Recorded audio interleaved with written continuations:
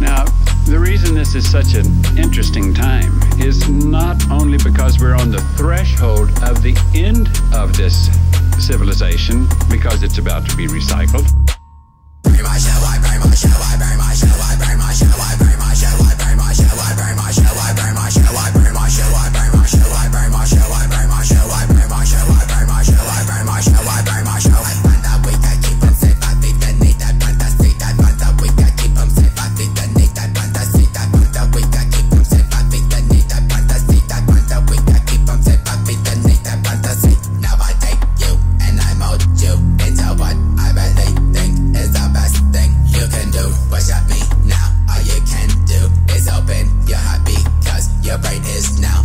Mine. I'm looking back and I'm seeing what I've done, and it's so nice seeing your eyes glow tonight. Taking this life in the name of me, so sweet, it is so sweet. I swept you all from your feet.